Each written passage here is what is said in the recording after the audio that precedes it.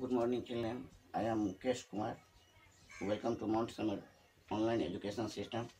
Today we are going to read the chapter uh, chapter 2, class 7, Meadow Surprise. At first, all of we know that some words from this poem. Meadow, a field full of grass, velvet, very soft, hop, jump, explode, search, and flutter, move for, forward. As we know, meadow. Meadow means a full field full of grass. In this poem, now come on the poem. Meadows have surprises. You can find them if you look, walk softly through the velvet grass and listen by the brook. कहता है जो यह घास का मैदान जो है वह बहुत ही बढ़िया होता है यदि हम उसे नज़दीक से देखें तो और उस पर यदि चलें, उस वेलवेट ग्रास ग्रास पे जो कि ग्रास है, वह बहुत सॉफ्ट रहता है उस पर चलें। यू में सी ए बटरफ्लाई हम वहाँ क्या देख सकते हैं? तितली भी देख सकते हैं। रेस्ट अपने buttercup there the meaning of buttercup is flower and unfold its drinking stall to sip the nectar हम क्या देखते हैं? जब हम किसी घास के मैदान में जाते हैं तो वहाँ बहुत सारे फूल रहते हैं।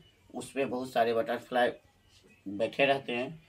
जो क्या करते हैं, वह अपना नेक्टर लेते हैं, वहाँ से परागकण लेते हैं और उसको चूसते रहते हैं। You may scare a rabbit who is sitting very still, the at first you may not see him when he hops you will.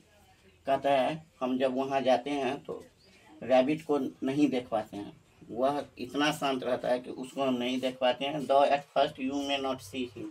हम उसे पहले नहीं देख पाते हैं, क्योंकि वह ऐसे बैठा रहता है जो हम उसे नहीं देख पाते। और जब वह हॉप हॉप मीन्स जंप, जब वह उछल कूद करता है, तब हम उसे देख पाते हैं। A dandelion whose fuzzy head was golden days ago he turn to airy parachute that flutter when you blow कहता है डंडेलियन डंडेलियन डंडेलियन एक फ्लावर है।